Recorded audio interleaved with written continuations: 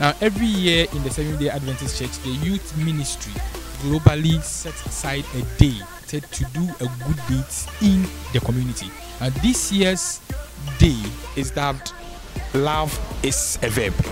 It is termed as a global youth day where the young people of the Seventh day Adventist Church come together to sort of make their impact felt in the community.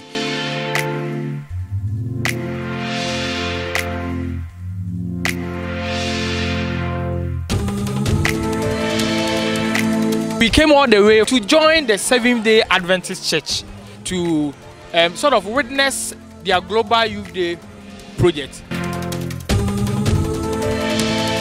Realize that when we came in the morning, we, we, we, we had a heap of, you know, dust and refuse here. But you can actually see the work done by these young people.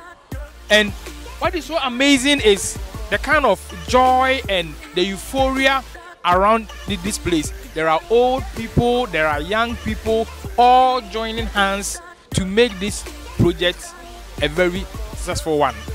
Pacho, if we Spinters TV, and net dwumadie na nkasa nkasa kasa no what is the rationale behind it ade nti na sɛ obiara ani agye a ɔyɛ adwuma kamakama ɛdɛ na moyɛ okay i think sɛ yɛpɛ sɛ yɛnsiesie kurom ɛmboa government no like sɛ deɛ ɔmo a yɛn nso yɛyɛ no ɛboa na yɛnya nso nso ho ate sɛnea ɛbɛyɛ a um, ekurom nso bɛyɛ kama ama yɛhina because you can't be a good christian whereby uh, the city is, is dirty.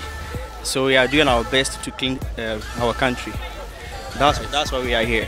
We came here in the morning we saw how this place was and seeing how it is now we are really amazed.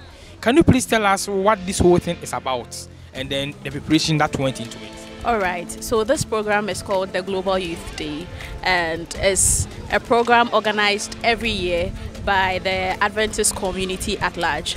And we do this every year with a theme. This year's theme is Love is a Verb, just as you see in my shirt. So we are showing love to our community. So we decided to come and clean the beach. Yes, for the whole community.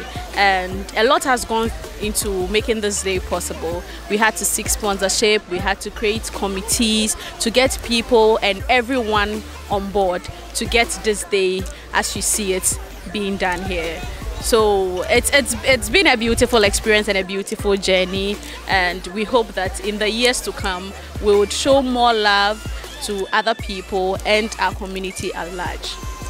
This is Gideon reporting from Mighty Beach, Sakumono.